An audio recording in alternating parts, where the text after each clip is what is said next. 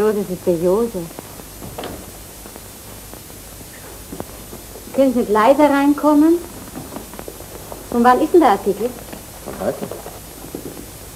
Das heißt, ist der 27. Das ist ja morgen der 28. Ja, der 28. Was hast du denn? Ja, aber stehst noch herum, Josef. So geht's doch. Lassen Sie uns doch allein. Ich bin heute ein bisschen komisch, Josef. Gute Nacht. Gehen Sie schlafen, Josef.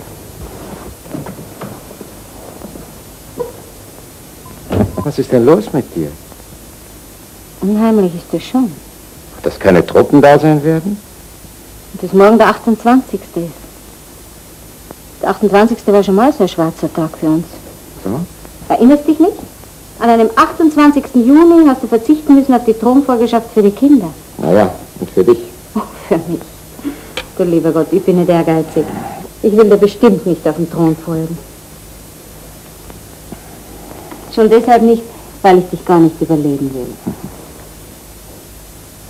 Ohne den Verzicht hätte ich dich nicht heiraten können. Aber die Kinder, Ja, das war der Preis. Du vergisst das immer wieder, aber lass doch. Das möchtest du ja doch nicht. Sei nicht so abergläubisch. das ist ja nur wegen der Truppen. Dann wollte ich Dann immer... lass mich. Siehst du? Das ist doch Kopfschmerzen. Ja, ein bisschen. Na, das schön. Gute Nacht. Aber du brauchst eine Kompresse noch viel dringender.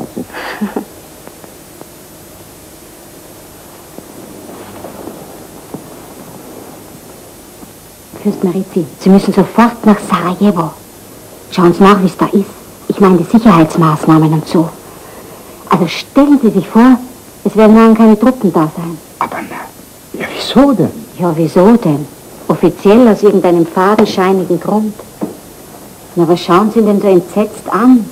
Dem Marizi wird doch nichts geschehen. Da tun Sie doch die Hand runter. Also Kinder, wenn ihr nicht schon längst gemerkt hättet, dass sich zwischen euch was anbahnt, jetzt wüsste ich's. Gehen schlafen. Wir sind verlobt, Hoheit. Aber nein. Wirklich? Was, echt verlobt? Na sowas. Seit wann denn? Schon ein Jahr. Schon ein Jahr. Schon ein Jahr, hat sie gesagt. Liebes Kind, was ist denn das? Wir haben sieben Jahre gebraucht, bis wir gemerkt haben, dass einer ohne den anderen nicht leben kann. Und dann erst haben wir den Kampf um unsere Ehe aufgenommen. Und dafür wird man heute noch bestraft. Sogar in Lebensgefahr bringen sie ihn. Das sind die Chauffeure vom Hohen Paar. Aber geh. Die Herren, die Herren Chauffeure von den Hohen Herrschaften. Ja, jetzt hat uns Inkognito gelüftet. Wollt ihr nicht vielleicht Platz nehmen? Immer du mit deinem Cherche la femme. Noch ein Viertel für die Dame, Herr Ober. Und ein paar Würstchen. Entschuldigen Sie, wie sind denn die beiden? Der Erzherzog und seine Frau. Es wird so viel geredet. Der hat keine Ahnung, was ein Vertrauensposten ist. Herr, wissen Sie überhaupt, was ein Vertrauensposten ist? Nein, man schweigt. Aber eins kann ich Ihnen sagen. Tauschen möchte mit Ihnen nicht. Du vielleicht? Nein, ich auch nicht.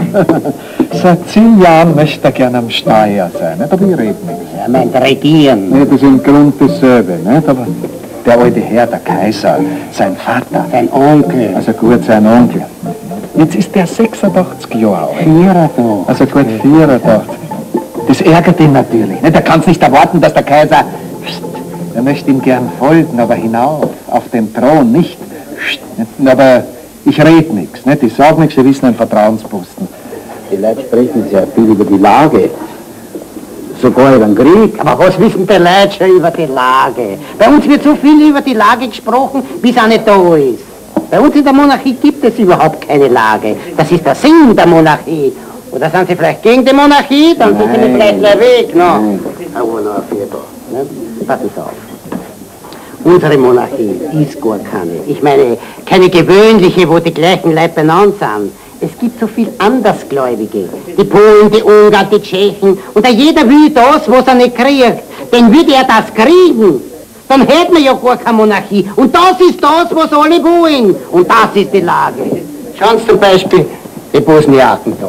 Wir sind Serben, Herr. Ja, da sind sie aber auch was. Na, und ich frage Sie, was wollen Sie? Ich frage Sie, was wollen Sie, die Serben? Aha, jetzt was reden Sie wollen, jetzt reden Sie nichts. Jetzt schweigen Sie. Reden Sie nicht, Sie weiß ganz genau, was Sie wollen. Keine Monarchie wollen Sie, die Serben. Sie Serbe, Sie. Na, na, na, na, na, auch rein mehr. Ich sag euch, weil jeder ist, was er ist. Aber was er auch sein mag, das hindert ihn nicht, ein Österreicher zu sein. Und wir alle sind Österreicher. Oh, oh. Wir Repusonitis, Fräulein. Prosit.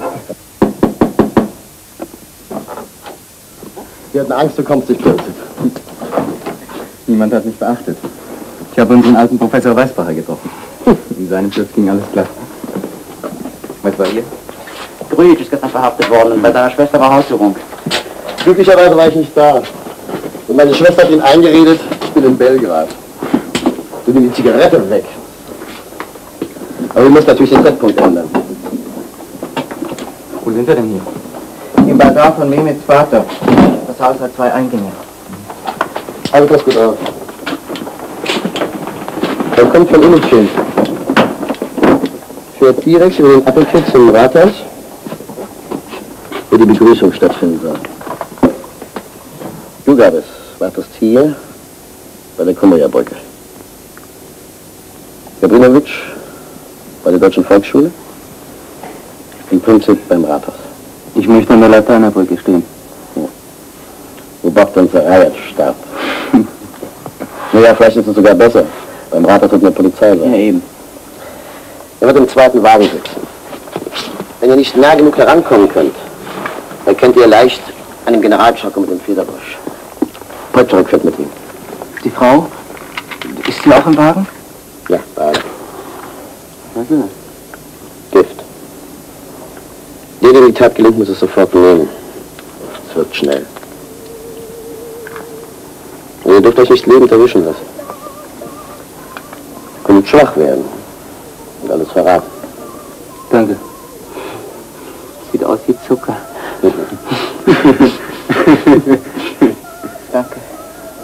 Wenn einer von euch fürchtet, schwach zu werden, naja, ist ja keine Schande, leben zu wollen. Und schließlich sieht ja alles ganz anders aus, wenn man so plötzlich nah vor einem steht. Ja, ja. Aber du musst es jetzt sein. Aber schließlich, vielleicht könnte man entkommen.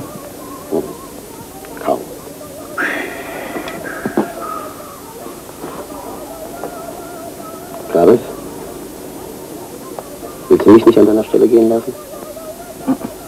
Hm? Gabrinowitsch? Wir sind entbehrlich, du wirst noch gebraucht. Du hast nicht gesagt. Der Prinzip zum Beispiel hat das Zeug zu einem Dichter. hm? Na, wer kommt?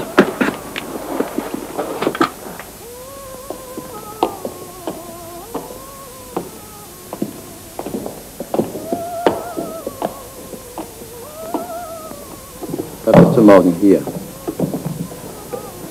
Geht erst weg, wenn die Straßen belebt sind. Geht einzeln und gebt kein Zeichen des Erkennens, wenn ihr euch zufällig begegnet. Wir müssen vermeiden, irgendwie aufzufallen. Die Stadt ist voll Polizei. Wenn irgendetwas Unvorhergesehenes passieren sollte, der Treffpunkt ist hier im Bazar. Bleiben Sie nicht bei uns? Ich kann nicht, glaube ich. Ein Kollege von der Deutschen Zeitung hat mich gebeten, den Begrüßungsartikel für den Erzherzog zu schreiben. Naja, ich wollte nicht abschlagen, damit er keinen Verdacht schöpft. Das ist so. Und ich muss um 7 Uhr abliefern. Wann erscheint denn die Zeitung? Mittags. Warum? Zu spät gegangen. Schade, das ist ein Artikel, den ich gerne gelesen hätte. Versucht zu schlafen. Ihr will eure Nerven brauchen. Ich wollte, es wäre schon morgen. Es muss bald hell werden.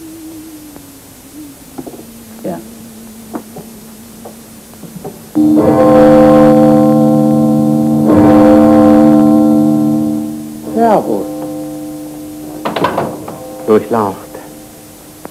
Im Sommer sollte man auf Urlaub sein und nicht in Wien. Bei der Hitze schlafe ich nicht eine Sekunde. Und da wecken sie mich noch, mitten in der Nacht. Wo brennt's denn, Pokorny? Vor einer Stunde ist eine dringende Depesche gekommen, durchlaucht. Aus Belgrad. Die dortige Regierung ist wegen der bedrohlichen Stimmung von einem Teil der Bevölkerung äußerst besorgt. Warum ist denn die Stimmung bedrohlich? Manöverdurchlauf haben bei der Bevölkerung großen Unwillen erregt.